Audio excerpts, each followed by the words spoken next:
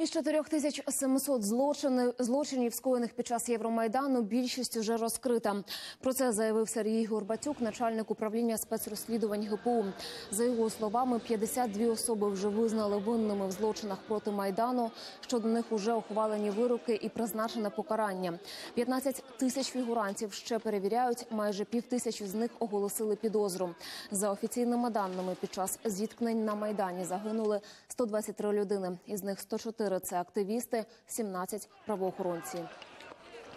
у підозрі у організації та вчиненні 73 вбивств, вчинених під час протестних акцій, повідомлено про підозру 56 особам, починаючи від колишнього керівника держави, завершуючи безпосередньо е, правоохоронцями рядовими у суді, тобто вже завершено з обвинувальним актом, розглядаються справи стосовно е, обвинувальні акти стосовно 13 осіб, які вчиняють, е, обвинувачуються у більшості е, із цих, із цих вбивств.